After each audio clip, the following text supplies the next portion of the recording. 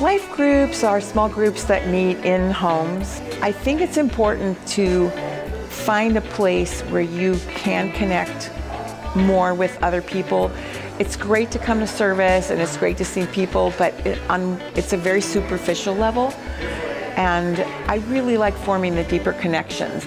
Life groups are a way to kind of have a support group almost. There's a host to host a, the group of people and we watch the video lesson and then we discuss the questions. And I thought that was so valuable because we really got to know each other and formed uh, a lot of deep connections right from the get-go. Even if you don't know a lot about Unity, it's a great way to make uh, new friends and um, to learn something about yourself. We've done social outings on our own now, and it really develops a lot of relationships and it makes it feel much more like home.